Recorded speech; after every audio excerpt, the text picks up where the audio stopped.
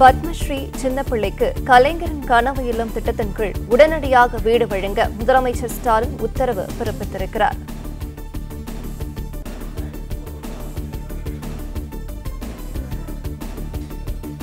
பத்மஸ்ரீ சின்னப்பிள்ளைக்கு கலைஞரின் கனவு இல்லம் திட்டத்தின் கீழ் உடனடியாக வீடு வழங்க முதலமைச்சர் ஸ்டாலின் உத்தரவு பிறப்பித்திருக்கிறார். ஏற்கனவே அரசால் வழங்கப்பட்ட ஒரு சென்ட் வீட்டு மனையுடன் கூடுதலாக முன்னூற்று எண்பது சதுர அடி நிலத்திற்கான பட்டா வழங்கப்படும் என்று முதலமைச்சர் கூறியிருக்கிறார்.